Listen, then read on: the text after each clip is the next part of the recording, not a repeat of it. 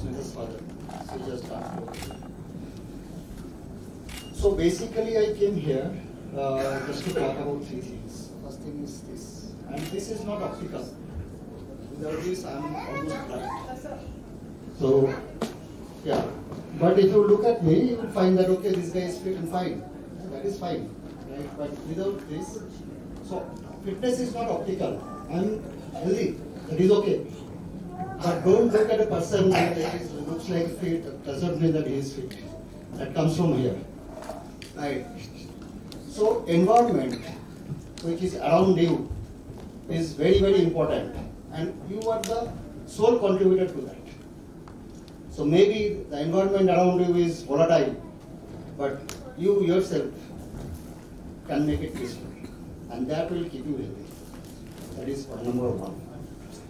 Point number two is basically what uh, ma'am you just told.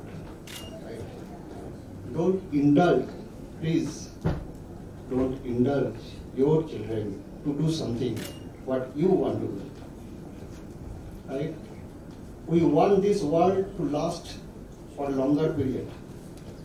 Because if we ask them to do what we want to do and don't let them what they want to do, that makes them much, much more violent. And then definitely, you know, that comes out to our society. And then this world where we are currently living, the life of it will reduce. Because people will start fighting what we are doing right now. I have never seen that my parent or you know whoever was there, my uncle and aunties normally used to call them who are our neighbors, really fight on anything. What we do? Yes, we do.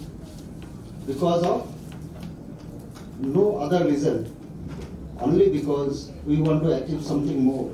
We want to achieve what our parents achieved. Also something more, which is not possible.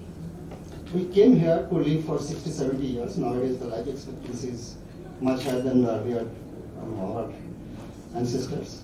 But 60, 70 years only. So let live and live. Thank you.